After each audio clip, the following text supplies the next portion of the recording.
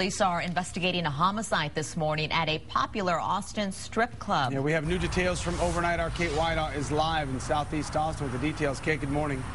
Good morning. Well, we are at the landing strip, which is just off 183 by the airport. And as you can see behind me, police are still on the scene this morning. Now, we understand that they were dispatched just after 2 o'clock this morning to the landing strip because there was a big fight that was taking place outside of here. We understand at least 10 or more people were involved in this fight.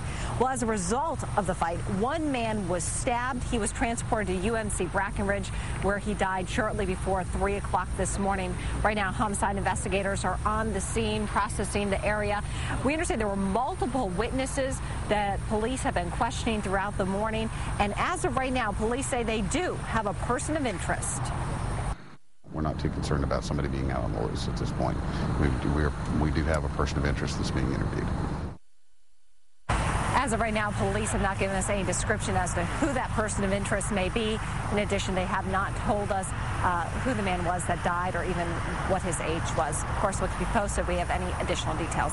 We're live in East Austin. Kate Weidaw, KXAN, Austin News.